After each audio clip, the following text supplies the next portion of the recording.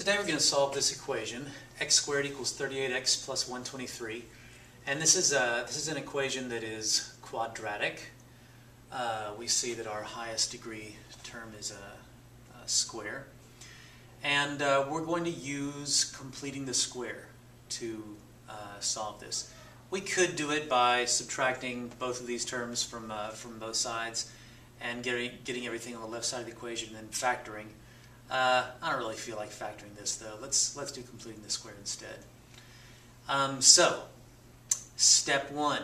Step one is let's get our x's on the left and our constant on the right. We'll do this by subtracting 38x uh, from both sides of our equation. So on our left we get x squared minus 38x, and on the right we have 123.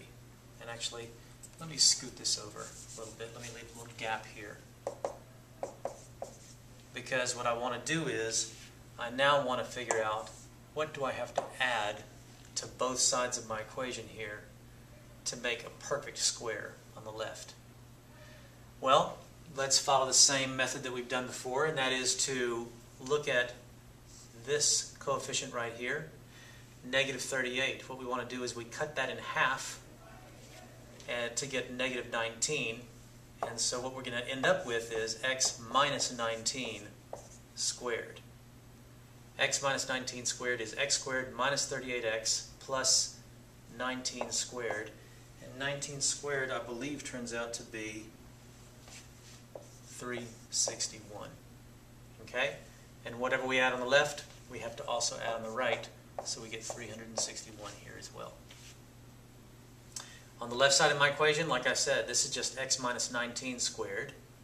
And on the right side, I've got to add up 123 plus 361.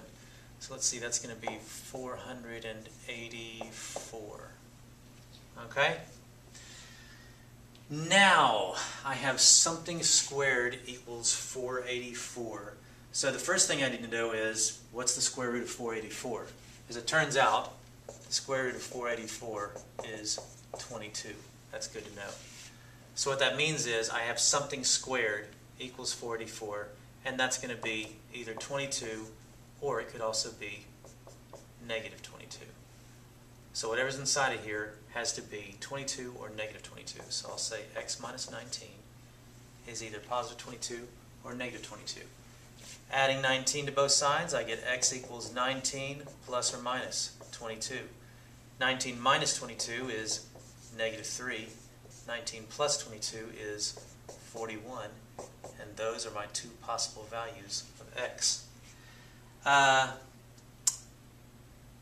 I'm a skeptic, so let me just make sure that this is right by plugging this in, and I'm going to take the one that looks a little easier to plug in. Uh, negative 3 squared, that's going to be 9. 38 times negative 3 if I multiply 38 times 3, I believe I get 114. And if I multiply times negative 3, I get negative 114. And adding 123, is that a true statement? Yeah, 123 minus 114 does equal 9. So yes, that checks out. If one of your solutions works, the probability of your other solution working is very, very high. So I'm feeling really good about this answer now.